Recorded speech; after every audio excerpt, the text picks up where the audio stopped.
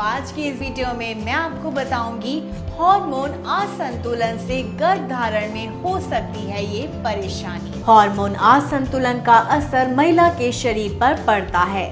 साथ ही इसके कारण गर्भ धारण करने में समस्या होती है। इससे मासिक धर्म समय पर नहीं आता और एमनोरिया की स्थिति भी आ जाती है। हार्मोन असंतुलन और प्रेगनेंसी माँ बनना हर महिला का सपना होता है।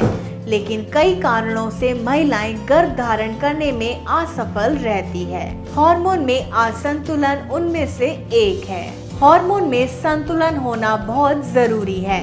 अगर किसी भी हार्मोन में असंतुलन हो जाए तो गर्भ धारण करने में परेशानी होती है। गर्भ धारण के लिए मासिक धर्म की भूमिका बहुत महत्वपूर्ण होती है।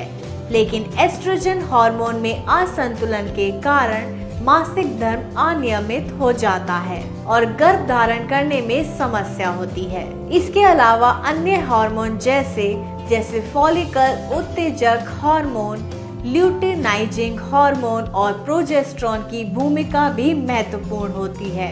गर्भ धारण के लिए इन सब के बीच में संतुलन होना बहुत आवश्यक है। तो आज की वीडियो में हमने जाना कि हार्मोन असंतुलन से गर्भ धारण में हो सकती है ये परेशानी। अगर आपको हमारी आज की वीडियो पसंद आई है तो प्लीज़ इसे लाइक शेयर और कमेंट करना ना भूलें। और हमारे चैनल को आज ही सब्सक्राइब कर लीजिए और साथ ही दिए गए बेल आइकन को प्रेस कीजिए ताकि आपको हमारी लेटेस्ट वीडियोस का नोटिफिकेशन डेली मिल सके। Thanks for watching this video till then stay healthy and stay beautiful with me